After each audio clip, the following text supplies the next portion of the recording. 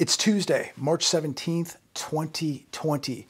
So more continued volatility in these markets. Dow Jones up over a thousand points today.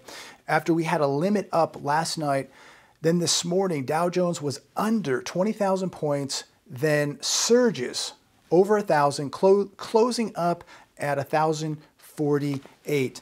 And this is all while economic activity is literally come to a standstill here in the United States of America.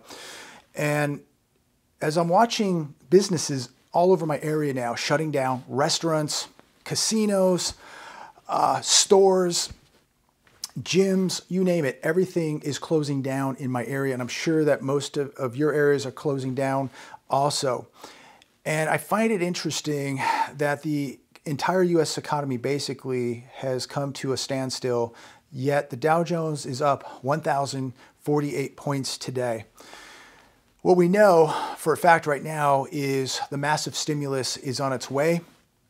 Most of you predicted that. We all knew what was next, right? What, what else can they do? We're at 0% interest rates. It's going to be a flood of money, massive stimulus, bailouts, and negative rates coming to America. And, you know, for every action, there is a reaction. You want to flood the United States economy with massive amounts of money printing, you're going to get massive amounts of inflation. We are going to have a lot of money, a lot of cash in this economy chasing very few products and very few services. And people don't understand the amount of debt that this is create, creating. The massive debt bubbles are getting even bigger as this whole market is collapsing. And so you know, the only thing that I see happening is a massive collapse. This to me is getting so dangerous. There's no going back where we're at. We've never been to this point ever, and there's no going back. There is going to be so much damage when these bubbles blow up, when this market comes down. This Fed is completely lost. They're in huge trouble. They are losing control. Get ready for the massive stimulus, the massive inflation, um, and negative rates. The savers will be punished. The little guy, the mom and pop stores are not going to get bailed out. Big corporate America will. And this is just, uh, it's really sad to see what, it, what is happening to America. This economy in this country is being destroyed. You know, if you think people aren't worried, um, just just read a little bit, do your due diligence and homework, go to your local bank. People are pulling money out of the bank. Uh, the people that at least have money in the bank, you know, half half of this country doesn't even have four or five hundred dollars saved up. Uh, you know, I see banks in New York and Manhattan, uh, Hampton area, wealthier areas. Those people are pulling money out of the bank because they have a lot of money in the bank. Uh, in other areas, uh, the banks are quiet because most people don't have any money in the bank because they don't have any money to begin with. One of my buddies went into a bank and he just said there was nobody in there. And think about that. When 44% of this country doesn't even have $400 saved up, why would they even be at the bank? I mean, half the country literally has zero savings. Uh, I got a couple articles here on CNBC. Uh, I'm going to go over them with you. Uh, this one titled Trump Seeks Stimulus Package Potentially Worth More than $1 trillion, including direct payments to American, Americans. And I was watching some of the press conference today, and Steve Mnuchin came out and he just he said, "Look, we're gonna we're gonna you know, keep the restaurants open, the fast food restaurants, we're going to keep those open so that you can go through the drive-through. You can even use your app, make an order, pull right up, get your food and drive right off. Like it's that easy. Like Steve Mnuchin is going to go to Taco Bell for lunch today or McDonald's. You know, the way they treat people like little peasants throwing everybody some crumbs. You know, we're going to throw you a thousand dollars and keep the, the fast food restaurants open, the, the, the drive-throughs open for you so you can use your little app and go pick up a Big Mac. Unbelievable. But let's look at some of the stimulus right now. They're talking about 500 to 550 billion dollars of direct payments or tax cuts, 200 to 300 billion in small business assistance, and 50 to 100 billion dollars in airline and industry relief.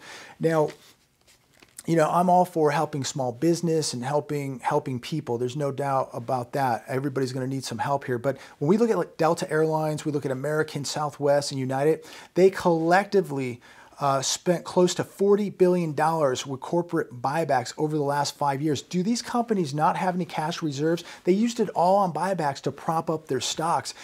Y- you know, how many of these companies on Wall Street are broke? I mean, we've got zombie companies. 40% of the companies on Wall Street don't even make a profit, and they're all going to want bailouts. And they spent all their money on corporate buybacks to jack up the, the price of stocks in this Ponzi scheme illusion that people call the stock market. So these airlines have absolutely no reserves. So the first thing they do is go straight to the US government and ask for a handout. And I think that that's absolutely wrong, that the American people should be on the hook for these banks, for these airlines, for car companies. Everybody's going to want a bailout. And you and I are going to be on the hook to pay for it. Yet, look at how they jacked up prices of everything. Airlines, they sit you in, in, in an airline seat and you have no room. You pay an exuberant amount of money, get terrible service. Um, you know, it, it's just it's just horrible. Here's another one on CNBC. Fed says it, it, uh, it will offer an additional $500 billion in overnight repo funding. That was um, today. That's what they, they did last night. $1.5 trillion last week. They're doing this to calm liquidity disruptions. And again, again, where's all the money at? How come uh, the airlines don't have any money? How come the banks have a liquidity crisis? They, they apparently have no money, no cash, and now they need repo injections on a nightly basis. Remember, this was only going to be temporary. We go back uh, to Monday, the Fed announced announces another $500 billion op in operation for overnight repo funding. That's on CNBC. That was on Monday. So we've got 500 billion on Monday, 500 billion um, on Tuesday. And people really believe that the stock market's real, that the banking system is healthy. They believe that the US consumer is strong. Give me a break. Nobody, you know, we talk about having an emergency fund, having something put away. You know, you talk about water and food and assets and cash and having something put away. It seems like Wall Street and these corporations have nothing put away. The airlines certainly don't. The banks are broke. And this is why people who are, are, savvy are running to their bank and getting all their money out of it because they don't trust what is going on. The government wants to start sending millions of Americans a check. Here's how to use it wisely. This was an article also on CNBC today. I guess now we have universal basic income coming to America. Uh, this is to make you a debt slave if you're not one already. People are broke, they have no savings, and this makes people very dependent on the government. And the more dependent you are on the government, the more of a debt slave you're going to be. The best thing you can do is detach out of the system, detach from the banks, detach from what the government is trying to do here, and that is to make you a debt slave. And the more dependent you are on anything, the more of a slave you're going, going to be to it. So that's why I just believe in being an independent, free thinking human being, being self reliant. And look, it's not that we don't need government, of course we do, but there are so many people, the masses, millions of people dependent on the government just to eat, uh, for money now to save them because when you're broke, you have no uh, reserves, no cushion, no secure, no, no insurance to fall back on. So people are forced to be reliant on the government. And that's, I think, a very dangerous thing. Zero hedge today. Port of Los Angeles container volume plummets most since financial crisis. Um, this is going to be another problem when the shortages arrive here to America. Um, I don't think that's more than two or three, maybe four weeks away before people really notice that the Targets, the Walmarts, there are shortages. People are not going to get uh, the things that they got a month or two ago at the store. And now that we're seeing these buying frenzies because people are getting very scared because they didn't take the time to prepare, uh, people, uh, you know, are just acting like uh, animals, ripping everything off the shelves, and people are going to be panic buying because they know uh, that maybe next month it's not going to be available. So they may buy more than they need just in case you can't get it next week or next month. Yahoo.com. Second quarter GDP could plunge 10%. So market is up over a thousand points today. We're looking at GDP in the second quarter possibly plunging 10%. Market up a thousand points because of massive stimulus. Look, the whole thing is fake. How can the market be up when literally a majority of businesses now are just shutting down across the country. People are getting laid off left and right. Look, I have family members who have lost their jobs. I'm sure you know somebody uh, yourself uh, that might have lost a job in your family or, or a friend, some acquaintance. Uh, everybody now knows somebody who's getting laid off. I got a phone call this morning from a good friend of mine, and uh, he works uh, at a store and they closed it down indefinitely. So now uh, you can go get unemployment, but unemployment is not going to cover most people's uh, overhead. And so you don't know if you're going back to work next week, two weeks, a month from now, two months from now. People have car payments, they've got credit card payments, they've got uh, insurance payments, healthcare payments, uh, house payments, rent. This is going to get very, very ugly. Wall Street Journal today, another problem for the Fed. Banks pressured as clients scramble for cash. Look, right now, cash is king. But I think people who are sitting on a lot of cash um, are going to be in for a big surprise when they see that that cash is going to be buying a lot less uh, day after day after day. If you're sitting on a pile of cash right now, and I think cash is very important, but I think hard assets are even more important. The cash you're sitting on today is going to be worth a lot less next year. I can guarantee you that. Massive inflation is coming to America. They're going to make sure of it. Casinos ask Congress for emergency aid as infection toll sweeps industry. So not only do we have the airlines wanting a bailout, we've got casinos wanting a bailout. We're going to see insurance companies that need bailouts. Um, we're going to see banks, cruise ship, uh, uh, the cruise ship industry, small business, big business, individuals. Everybody is going to need a bailout. And how do you keep bailing everything out when you're broke? This country is 23.4 trillion dollars in debt. Imagine the amount of debt we are going to create here with bailing everybody and everything out. I mean, again, for every action, there's a reaction. It's going to be massive inflation and it's going to be the devaluation of the US dollar. Really scary stuff.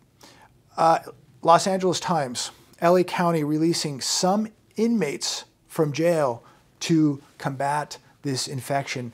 So again, we talk on a daily basis about security.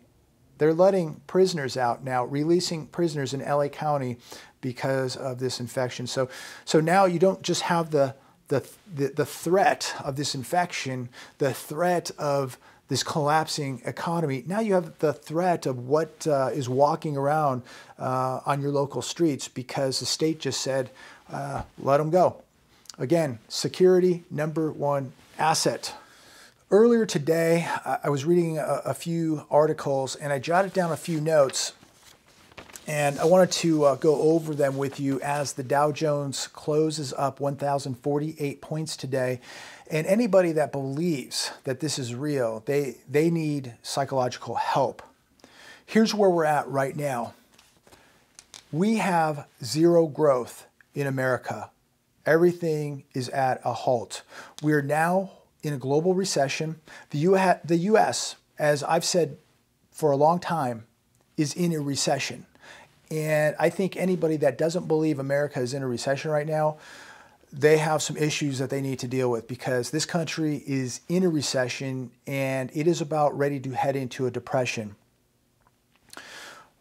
We're shutting down stores, restaurants, casinos, major events, sporting events, conventions, you name it.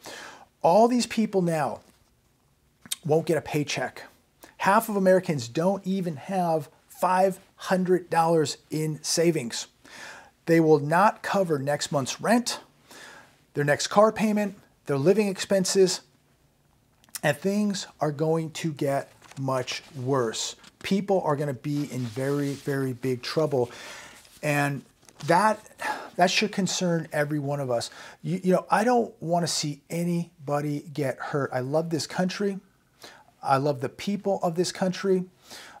And I don't want to see people suffer, especially people in my country. And unfortunately, we are past the point of no return. We are going to see a lot of suffering here in America. And if you think you're seeing a lot of homeless people on the streets right now, you haven't seen anything yet. Um, we're going to start seeing a lot more homeless people. You know, in many of my videos, uh, uh we always talk about, and all of you know, that 80% of this country lives paycheck to paycheck, hand to mouth. And when you live like that, there is a, a, a risk that if something big happens, you're going to be in very, very big trouble. You know, if you're if you don't have that cushion, if you don't have that emergency fund, if something happens, you miss a day of work, you miss a week of work. Now people are going to miss an indefinite amount of work. And being one paycheck away from trouble, now they're going to be multiple paychecks away and they're going to be in big trouble. So we're going to see lots of people moving back in with their parents, moving back in with family members. And there's a lot of people out there that don't have family. And where are they going to go? They're going to be sleeping in their cars or they're going to be out on the streets. That's what's going to happen. And that's just the facts. As the economy slows, crisis will start to cascade through many industries and the problems are going to hit harder and they're going to hit faster.